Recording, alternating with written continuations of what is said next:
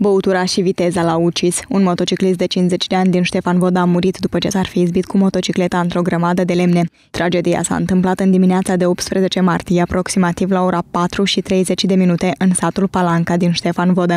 O femeie care a văzut cum s-a întâmplat totul a chemat poliția și ambulanța. Potrivit oamenilor legii, victima avea la bord încă doi pasageri de 26 și 27 de ani. Acesta conducea cu viteză excesivă, iar la un moment dat s-a izbit într-o grămadă cu lemne de pe marginea drumului.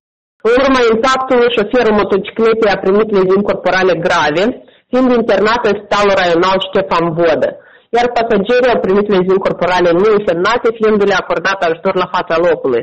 La 18 martie 2019, ora 16, șoferul motocicletei, în urma traumelor primite, a decedat în spital. Forțele de ordine au mai constatat că atât motociclistul decedat cât și pasagerii săi erau în stare avansată de ebrietate. Oamenii legii au pornit un proces penal pentru a stabili toate circumstanțele.